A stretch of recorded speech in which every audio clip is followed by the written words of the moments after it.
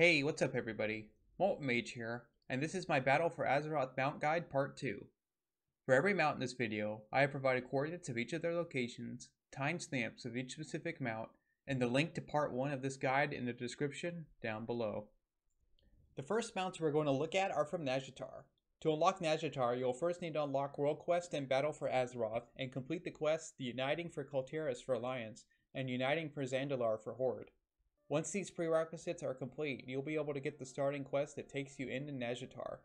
The Alliance starting quest is the Wolf's Offensive from Greymane, and the Horde starting quest is the Warchief's Order from Nathanos. After these quest lines are complete, you will unlock Nazjatar. The first mount we're going to look at is the Inkscale Deepseeker. To get this mount, you'll need to earn 150 Nazjatar battle commendations.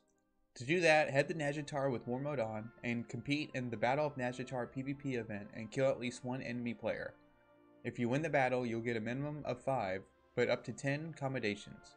And if you lose, you only get 2. The other way to get these commendations is by killing rares in Nazjatar with War Mode on. After you get 150 Nazjatar battle commendations, you can purchase the Inkscale Deepseeker from your faction's Nazjatar PvP Quartermaster. Next is the Crimson Tidestallion. The first step in getting this mount is unlocking the world quest for Nazjatar. Then going to this location here and speaking to the NPC Mrrl. He'll give you a quest called A Safer Place, and then the quest called No Bags. After you complete both quests, you'll need to speak to your faction's Benthic vendor and purchase a Benthic cloak until you receive an Azsh'ari Storm Stormsurger cape. Once you have this cape, you'll be able to purchase the four cultist pinky fingers and two pulsating bloodstones required for the mount. To get the items required to be able to purchase the cultist pinky finger and pulsating bloodstones, you will need to purchase various other items from four other Murloc vendors at your faction's camp. Follow the purchase order that I have listed on the screen to be able to get these items. The third item you will need is Hungry Herald's Tentacle Taco. To get the taco, you will need to head to this location here and make sure to equip the Azsh'ari Stormsurger cape. You then will need to complete the Murloco NPC event. If the event is up, you will see two Naga that have Murloco locked in a cage. Kill the two Naga, and then Murloco will be a vendor that you can purchase the taco from. He'll only be up for 5 minutes. Once you have the four cultist pinky fingers, two pulsating bloodstones, and Hungry Herald's taco, you will then need to keep checking daily with your Azsh'ari cape on to see when Mrrl will sell them out. Next is the Snapdragon Kelpstalker for Horde and Deepcoral Snapdragon for Alliance. To get the Snapdragon Kelpstalker, you will need to level the bodyguard Neri to level 20. You can do that by picking her up as your follower for the day and complete the daily quest that she gives you. Then once she is level 20, she will give you the quest called Good Girl. Upon completion of that quest, you will be rewarded with the mount. To get the Deepcoral Snapdragon, you'll need to level the bodyguard Hunter Akana to level 20. You can get him to level 20 the same way as the Horde version of the bodyguards, and once he is level 20, he will give you the quest called Wild Tame. Upon completion of that quest, you will be rewarded with the mount. Next is the Ankoan Waveray and Unshackled Waveray. To get the Ankoan Waveray, you need to become exalted with the Nazjatar Alliance faction Ankoan. And for the Unshackled Waveray, you need to become exalted with the Nazjatar Horde faction Unshackled and for both mounts you will need to obtain 250 mana pearls. You can earn reputation and mana pearls from the world quests offered daily in the zone, from daily quests offered at your faction's base, and killing rares within the zone. For the Ankoan Waveray, once you have the rep and mana pearls, you'll need to purchase it from Artisan Okata. And for the Unshackled Waveray, you'll need to purchase the mount from Finder Pruk. You can ride both of these mounts on both factions once you purchase them. Next is the Silent Glider. This mount has a less than 1% chance to drop off the rare soundless. He has approximately a 6 to 8 hour respawn timer. He spawns at these locations here. You can only attempt to get this mount from Salus only once per day. Next is Fabious. To get this mount, it will require that you have the toy called Selfie Camera. Once you have the toy, you will need to wait approximately 2 to 8 hours for it to spawn in these locations here in Nazjatar. Once Fabious is spawned, you need to get your selfie camera and take a selfie with him. If you complete the task right, the mount will be rewarded to you directly in your bags. So to be safe, make sure to take multiple selfies with him. Next is the Royal Snapdragon. This mount has a low chance to drop from either the Paragon Cache Ankoan supplies or Unshackled supplies. You can earn these caches by being exalted with either faction and earning 10,000 extra reputation with them. Keep earning these caches until you get the mount. The next set of mounts are from the Zone Mechagon. To unlock Mechagon, you will have to complete the Nazjatar opening quest line. Once you have that completed, the Horde will need to speak to Gazlowe, who is located next to the Flight Master in Dazar'alor, and he will give you the quest called The Legend of Mechagon. The Alliance will have to pick up the same quest, but from Tinkmaster Overspark, located next to the Flight Master in Boralus. This quest will get you started on a quest chain that you will need to complete. Once completed, you can start working towards Mechagon mounts. The first Mechagon mount we are going to look at is the Scrapforge Mechaspider. To get this mount, you will need to complete the daily quest line called Making a Mount. To do that, you'll need to pick up the starting quest called Shop Project from Recycler Kerchunk, located here in Mechagon.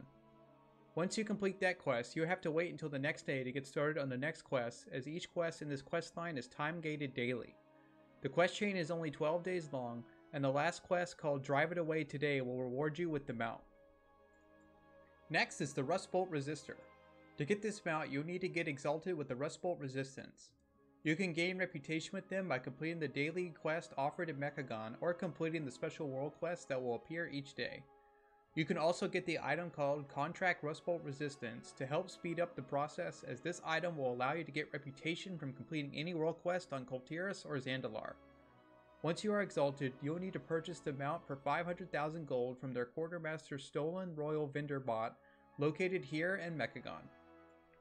Next is the X995 Mechanocat. To get them out, go to this location here in Mechagon once there, purchase the Blueprint Mechanocat laser pointer from Quark Stuttgart for 500 gold. After you purchase the blueprint, go to this location here and turn in the blueprint to Pascal K1N6.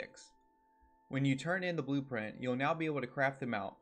The items needed to craft them out are 8 spare crates, 5 energy cells, and 4 chain igniter coils.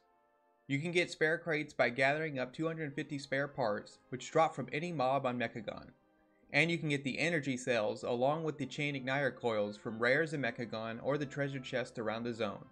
You could also craft the chain igniter coils from Pascal K1N6. Next is the Junkheap Drifter. This mount has a less than 1% chance to drop off the rare Rustfeather that spawns here in Mechagon. He spawns anywhere between 15 minutes and 30 minutes. You can only attempt to get the mount once per day. Next is the Rusty Mechanocrawler. This mount has a less than 1% chance to drop off the rare Arachnoid Harvester that spawns here in Mechagon. He spawns anywhere between 15 minutes and 30 minutes. You can only attempt to get the mount once per day. Next is the Mechagon Peacekeeper. To get this mount, go to the dungeon Operation Mechagon and set the dungeon to Mythic difficulty. You will then need to kill the boss HK8 Aerial Oppression Unit. He will have a low chance to drop the mount. Next is Aerial Unit R-21X. To get this mount, you'll need to go to the Dungeon Operation Mechagon and set the dungeon to Mythic difficulty. You then will need to complete the hard mode version of this dungeon. To activate hard mode, you first will need to fight the first three bosses that have the HK8 aerial oppression unit flying over it. After the first three bosses are dead, you'll need to kill the HK8 aerial unit boss. The next hard mode encounter you'll need to activate is the KU-J0, you can activate the hard mode version by clicking on a pile of robot waste that is on the ground. After you kill that boss, the final part of the hard mode will be on the last boss fight and will entail you clicking a small red button on a pedestal that must be clicked before the encounter. Clicking the button will add a robot that does not do anything over the course of the fight but depletes its own energy bar from 100 to 0. Upon reaching 0 energy, the party will instantly wipe. To counter this mechanic, there will be four panels around the room that will activate when the robot reaches 35 energy, roughly every 45 seconds. These panels will all display a color and an icon in a random order before flashing a red skull and activating an input sequence just before the final 10 energy countdown. After this input sequence, members of your group will have to make sure to click the panels in the correct order that they lit up in to bring the robot's energy back to 100. You will have to keep repeating this process until the boss is defeated. If you have a full party, this mount is guaranteed to drop, and if you do not have a full group, it will have a 20% chance to drop per person in your group. Next is the Child of Torcali. To get this mount, you'll need to complete the How to Train Your Direhorn questline. To start this questline, pick up the quest called The Missing Handler from Natala located here in Zandalar. This quest will get you started on a long time gated quest chain that you'll need to complete. Upon completion of this quest chain, you'll be rewarded with the mount. You must be Horde to do this quest chain. Next are the Horrific Vision and Assault mounts. To unlock both Visions and Assaults, you will need to have completed the Nazjatar opening questline and have Azerite essences unlocked. Then the Horde will be able to pick up a quest called Return of the Black Prince by heading to the city of Dazar'alor. And the Alliance version is currently bugged, you will have to first complete the Shadowlands opening questline and get out of the Maw. Then once you log out and log back in Boralus, you should receive the quest called an Unwelcome Advisor. These quests will get you started on a quest chain that will take you approximately 2 hours to complete. The first mount we are going to look at is the Mailmuncher from Horrific Visions. This mount has a chance to spawn from the 5 mailboxes that are scattered throughout the Orgrimmar and Stormwind Horrific Visions. The location the Orgrimmar Horrific Vision mailboxes are here, and the location of the Stormwind Horrific Vision mailboxes are here. Once you're at the mailbox, click on it and it will have a chance to spawn the rare Mailmuncher or another random mob. If the Mailmuncher spawns, kill the rare and then it will drop them out. Next is the Wicked Swarmer. To get this mount, you'll need to acquire 100,000 corrupted mementos. You obtain corrupted mementos by killing creatures within a horrific vision and completing horrific visions. Once you have 100,000 corrupted mementos, speak to Wrathion and then you can purchase the mount. Next is the Springfur Alpaca. To get this mount, you first will need to get Gersahl Greens, which you can pick up from this area of Uldum. Once you get Gersahl Greens, you will need to find the Springfur Alpaca and feed it the Gersahl Greens on 7 different days. They do not have to be consecutive days. The Springfur Alpaca has a chance to spawn in these locations in Uldum, and it does not matter which Uldum Assault is up. The Springfur Alpaca has approximately a 3 to 6 hour respawn timer. Once you feed the Springfur Alpaca on several different days, you will receive the mount. Next is the Shadowbarb Drone. To get this mount, you first will have to wait for the Akira Uldum Assault to be up.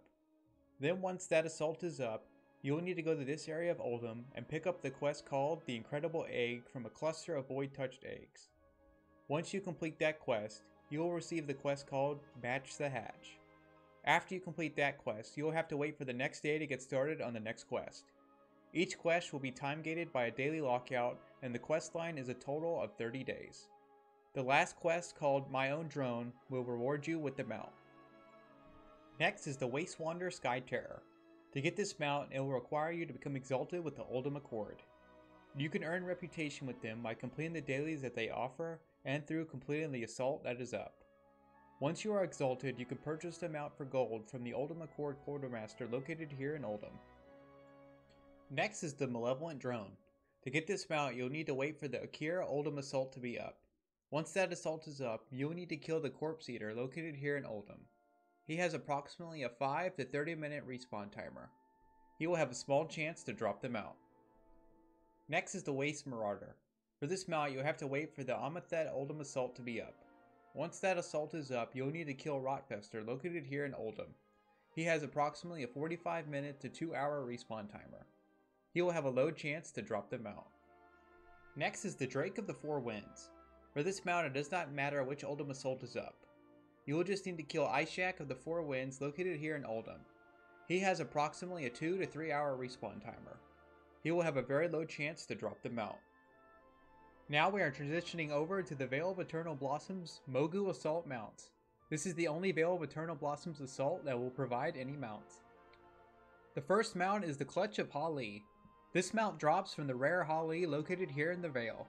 Ha-Li has a respawn timer of approximately 30 minutes to an hour. He will have a low chance to drop them out. Next is the Ren Stalwart Hound. This mount drops from Houndlord Ren located here in the Vale. His respawn timer is approximately 1 to 2 hours. He will have a small chance to drop them out. Next is Xin Lao. This mount drops from On Li the Loyal, located here in the Vale. His respawn timer is approximately 1 to 3 hours. He will have a low chance to drop them out. Next is the Rajani War Serpent. You will have to go through the entrance to the temple here and go underground to get to the rare Reloon. Reloon will have a very low chance to drop the pristine Cloud Serpent scale. Once you get that scale, you must speak to the vendor Zhang Ku, located here in the Vale, and redeem it for the Rajani War Serpent.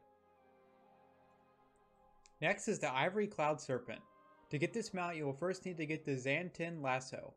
The best spots to farm for this lasso are the camps here in the Vale. Once you have the lasso, you will need to go to this location here and be approximately at this height on your flying mount a little bit above the temple gates. You will have to wait approximately an hour and a half to 3 hours for the Ivory Cloud Serpent to spawn. Once he has spawned, you will need to cast your lasso and capture him. If successful, you will see the Ivory Cloud Serpent in your bags. Once he is spawned, he flies very fast and is relatively small, and flies around the Vale if you don't capture him right when he spawns. After you catch him, he will despawn after 10 seconds. I would highly suggest using the macro that I have provided in the description and spamming it so that when the Ivory Cloud Serpent does spawn, you will catch him immediately.